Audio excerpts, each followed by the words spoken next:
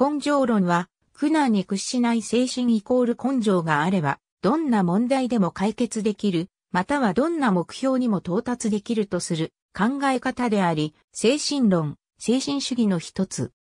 東京オリンピックの女子バレーボール日本代表チームを金メダルに導いた大松博文によって根性論が社会に浸透したと考えられる。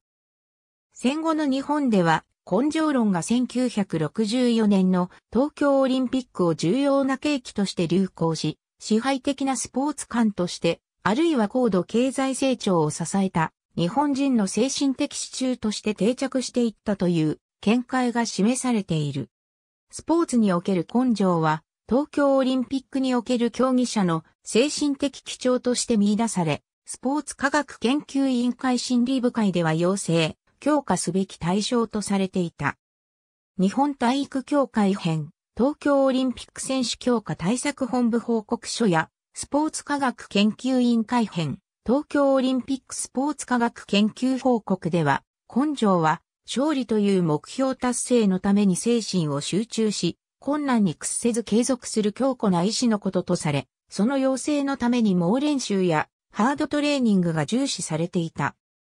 東京オリンピック以降の体育関連雑誌では、スポーツと根性についての論考が掲載されており、根性はアスリートのみに必要とされるものではなく、人々が社会において困難な状況でも強い意志と実行力で生き抜く力として求められるものであると考えられていた。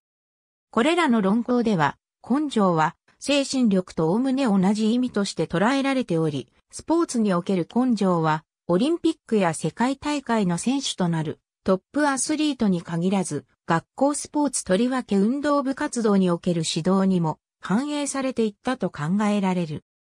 また、女子バレーボール、東洋の魔女を率いた大松博文による指導信念、哲学が世界選手権及び東京オリンピックにおける優勝によって説得力を持ち、当時の人々の生き方の指針となるメタ思想として拡大解釈されていったことも、1960年代のスポーツにおける根性を流行させる重要な契機であったと考えられる。大松は根性を強烈な継続的行動や目的への執着、結果として人格の中に生まれる精神力として捉えている。1960年代のスポーツにおける根性とは、勝利を目的、目標的要素とし、猛練習、ハードトレーニングに見られる困難な課題への継続した取り組みを方法的要素として持ち、結果として競技者という人間が形成される際に必要な強い意志、精神力と考えられた。東京オリンピック以降にスポーツ根性論が大衆化していく中で、勝利至上主義を正当化する規範や理念として、効力を発揮し、仕事や暴力を伴った指導や受動的な忍従をもたらしたと考えられる。スポーツ根性論は、勝利至上主義的風潮のもと、徹底した競争や勝利の追求の中で閉塞状況に置かれた際に、競技空間からの離脱や中断、切断を規制し、継続、接続を促す規範として機能していることが推察される。ただし、同時代の人々にも根性論を批判する指導者が存在した。八田一郎は竹槍根性、負け犬根性を批判し、勝利を目指すことを前提としていたはずの選手や指導者たちが真の実力をつけて確実な勝利を目指さずに精神面ばかりを強調し、一万一の勝利を目指していることが合理的でないと批判し、真の実力とは肉体の力と精神力であると主張した。八田は根性を肉体の力と精神力を有している状態であると考えた。八田の根性論には精神的な要素と肉体的な要素が偏りなく存在するものであった。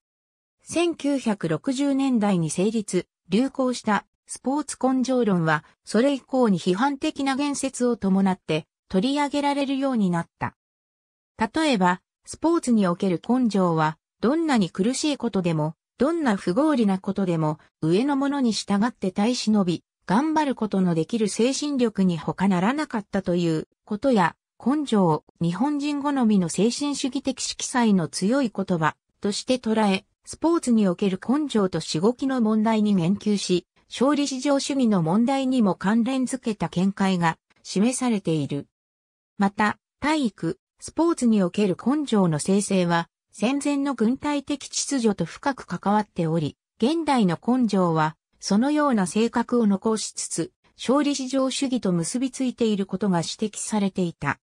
1960年代以降のスポーツにおける根性の批判的な論説からは、勝利至上主義と関連づけた弊害が指摘され、その土壌は戦前の軍隊的秩序、精神主義にあったこととされる。これらの批判的な言説が生成してきた背景には、東京オリンピック以降、アスリート及び実践主体の死を伴った事件が相次いで起こり、各方面からスポーツ批判が噴出したのではないかと推察される。根性論は古くよりスポーツの選手や挫折した人を激励する場面で用いられてきた。現代では営業職をはじめとするビジネスの世界にも用いられ、ビジネス本には根性論の色彩が強い。苦労に挫折せず、さらなる向上を目指した結果、今までできなかったことが可能になる。そして、そのような利益を得るためには、努力するしかない。努力を続けるために必要なのは根性であり、何事にもめげない、精神力こそが必ず人を成功へと導くという思考法である。こうした考え方は常に否定されるわけではなく、メンタル面が結果を左右する場面では、スポーツの試合において、根性、絶対に勝つんだという気持ちなど、精神的な要素が勝敗に影響することや、正しいトレーニングをする上でのモチベーション維持として、用い、健康を害することなく、技術や体力の向上につながるといったことも観察される。その逆に、誤った方向での努力も見られる。炎天下で水を飲まずに練習を続けて熱中症で倒れる関節や筋を痛めていたり、風邪をひいたりしているのに寒い屋外で練習を続行して体調を余計に悪くするといったケースが存在する。また、途中で投げ出さず、最後までやり遂げる、途中でやめるのは、格好が悪いとの根性論から中途での断念を不名誉なものとし、故障を隠して強行出場したり、持久力を必要とする競技では、体調不良で意識が朦朧とした状態でありながら、競技継続を強行しようとする選手が出ることがある。しかし、強行出場したところで、結局は故障が原因で、本来のパフォーマンスには、程遠いパフォーマンスしか発揮できないケースも多い。また、クラブ活動で上級生からの理不尽ないじめにあったり、顧問からセクハラや体罰にあっても、根性論を理由に途中でやめることもできず、最悪の場合、自殺に至る場合がある。根性論。2021年6月15日閲覧。根性論とは日本語表現辞典、ウェブリオ辞書。2018年10月10日閲覧。精神論とは日本語表現辞典、ウェブリオ辞書。2018年10月10日閲覧。ABCDEFGHI 岡部祐介、スポーツにおける勝利追求の問題性に関する1、考察、勝利至上主義の生成とその社会的意味に着目して、自然、人間、社会、関東学院大学経済学部、経営学部教養学会第65巻、関東学院大学経済学部、経営学部教養学会、2018年7月、15から37ページ。坂上康弘、日本野球の系譜学請求者、2001年7月、219ページ。高橋亀吉、スポーツと根性について、新体育第34巻第11号、新体育者、1964年、130から135ページ。浅川昭一、体育の学習と精神力、学校体育、第21巻第6号、日本体育者、1968年、22から25ページ。大松博文、なぜばなる？続、俺について恋講談社、1964年、104ページ。岡部祐介、スポーツ根性論を再考する、1960年代における根性の変容と、今及び、これから、体育哲学研究第45巻、日本体育学会体育哲学専門文化会、編集委員会、2014年、69ページ。ABC 長島和幸、八田一郎の根性論の独自性に関する一考察、1960年代の根性批判とトレーニング論の分析を通して、スポーツ教育学研究第39巻、第2号、日本スポーツ教育学会、2020年、13から26ページ、ドイ、10.7219、チャジゼス、39.23。関春南、戦後日本のスポーツ政策、オリンピック体制の確立、一橋大学研究年俸経済学研究第14巻、一橋大学、1970年、225ページ。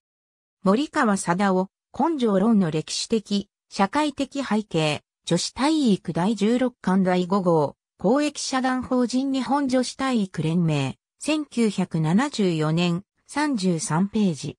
草深直進、現代スポーツの構造とイデオロギー、青木書店、1986年、42ページ。ありがとうございます。